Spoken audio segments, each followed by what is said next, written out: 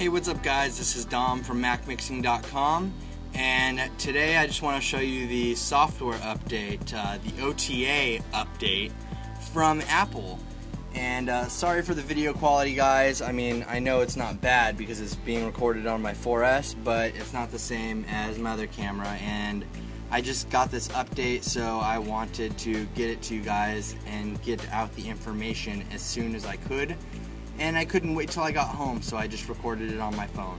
But I'm going to show you how to update your iPhone or iPad over the air using Apple's new OTA updates on iOS 5.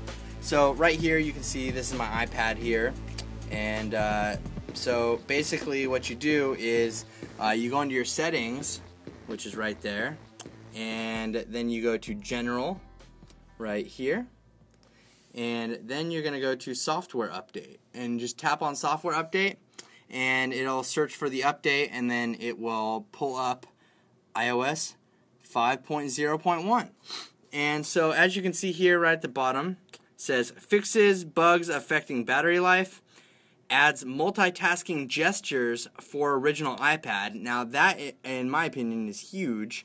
Um, and it removes bugs with documents in the cloud, improves voice recognition for Australian users using dictation.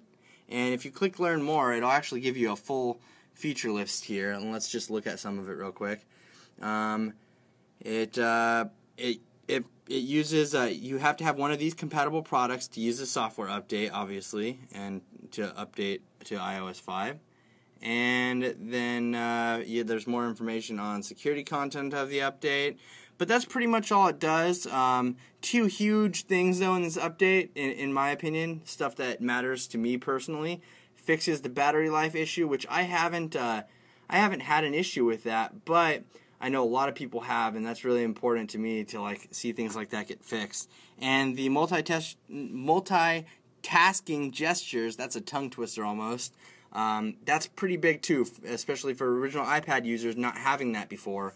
Uh, Apple allowing that to be in iOS 5 for iPad 1 as well. So, what you all have to do here, the only thing you really have to do is click on download and install. It's going to pull up this little user agreement, and this all looks the same on your iPhone too. Um, I went through the same process on a different iPhone, and it's just going to pull up the terms and stuff, terms and conditions, user agreement, and you just want to click agree or disagree. And keep in mind, if you click disagree over here, it will not let you download the update. So I'm going to hit agree. And then it's going to say connect your iPad to a power source while the download is in progress to save batteries. Well, my battery is 88%. So I'm not really worried about that right now. Um, so we're going to go ahead and click OK here. Click OK. And it's going to begin downloading that update. As you can see, it says downloading right there. And we even get a little uh, a little bar right there letting us know how long the download is going to take. Less than one minute remaining. Pretty fast. I mean, it's over Wi-Fi, obviously and I'm sure 3G won't take that much longer than than a, a minute or two, you know. Um, but this is how you download it, and we're going to go through the install process. I'm going to show you what it looks like when it's installing as soon as this finishes downloading. And you see now here it says preparing update right there, preparing update. So it, I'm assuming that it's finished downloading. I'm not sure. It still says downloading at the bottom there, but it says preparing update. So I'm guessing at some point here in a second, little bit, my iPad is just going to turn off and restart with the update installed. And it looks like it's uh, finished up here. It's at the end of the bar, anyways. So let's see what it's going to do for us here. Alright, so there you go. Software update. iOS 5 will be installed in 5 seconds. Your iPad will restart when the installation is finished. It's just going to automatically do it. And so there you go, verifying update. It's verifying it with the Apple servers.